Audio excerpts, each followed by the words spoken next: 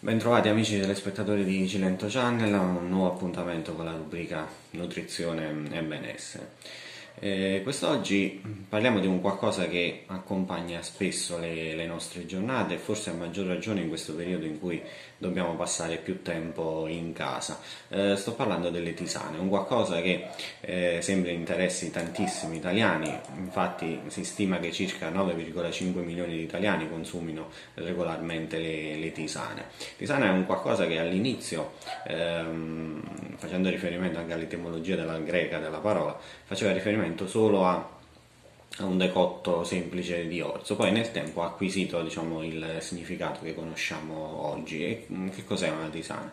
In effetti è una preparazione acquosa in cui sfruttando ehm, l'effetto solvente dell'acqua calda eh, o fredda si estraggono eh, da fonti vegetali dei principi attivi, attivi o comunque si ha un effetto eh, terapeutico.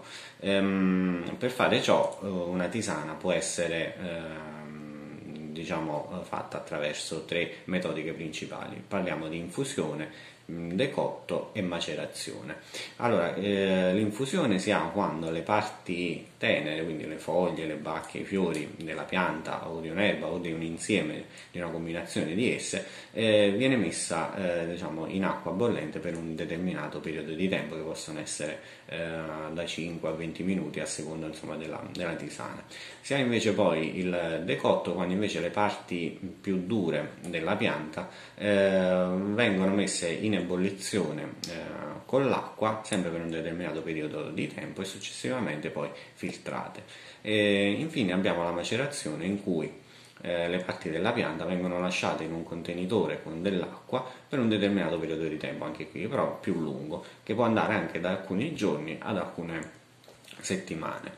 Ovviamente a seconda della, della pianta, delle erbe o delle combinazioni di esse che utilizziamo abbiamo differenti tisane con differenti effetti, eh, possono essere effetti depurativi, drenanti, diuretici, mm, detossificanti, dimagranti.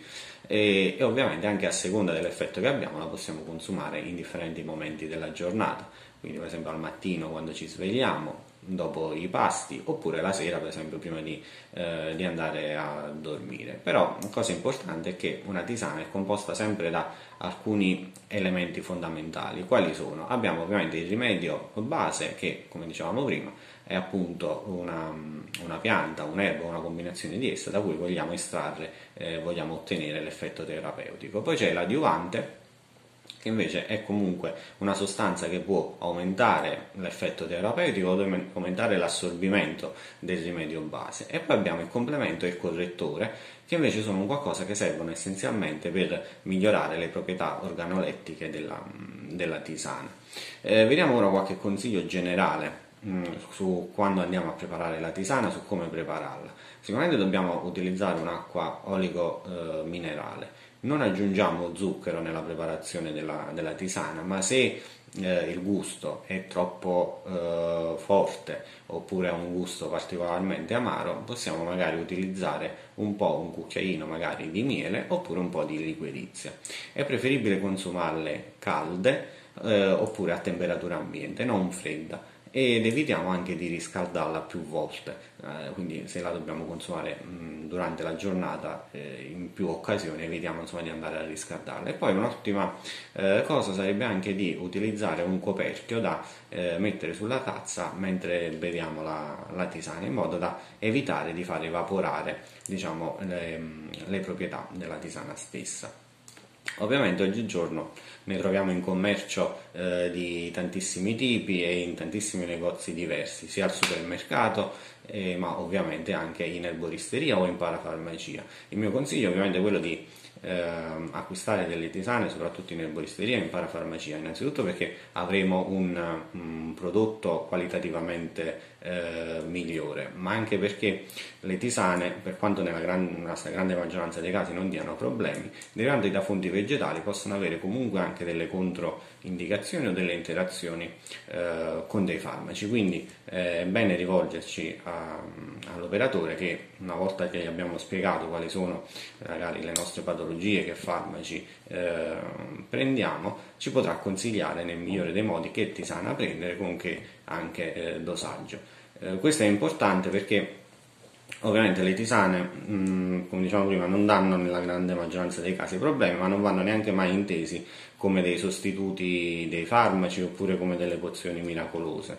Ehm, sono invece comunque un qualcosa che ci possono eh, aiutare a risolvere o comunque ad alleviare dei piccoli, dei piccoli disturbi e in ogni caso ci aiutano anche a bere, ad introdurre più liquidi, quindi a migliorare anche il nostro grado di, eh, di idratazione. Volendo fare degli esempi di eh, tisane, abbiamo appunto quella al finocchietto magari che ci aiuta nella digestione e nel contrastare il meteorismo, nella betulla che ha un ottimo effetto drenante, il tarassaco che ci aiuta ad avere un effetto detossificante soprattutto a livello epatico, la melissa che contrasta lo stress, l'insonnia, il mal di testa, eh, la camomilla che ha un effetto appunto rilassante e lenitiva, ma ce ne sono insomma tantissime e varie combinazioni di queste eh, tisane, quindi ad ognuno insomma può scegliere quella a seconda delle proprie eh, necessità. Eh, infine volevo chiudere dicendo che mh, mm, proprio in questo periodo di coronavirus molto spesso eh, leggiamo varie cose o ci arrivano sui telefonini vari messaggi, tra cui appunto quello di ehm, consumare delle bevande calde, delle tisane calde per contrastare il coronavirus. Ecco, questa è una cosa che possiamo catalogare diciamo, nelle eh, fake news e quindi vi invito sempre a eh, diciamo, a confermare le fonti eh, da cui apprendete queste notizie, quindi devono essere sempre dei siti eh, istituzionali oppure dei professionisti, degli esperti del settore. E per concludere, anche se il periodo ovviamente che stiamo vivendo è molto particolare, volevo comunque eh, rivolgervi a tutti voi i miei mh, personali, sinceri auguri di buona Pasqua a tutti i telespettatori di Cilento Channel. Arrivederci al prossimo appuntamento.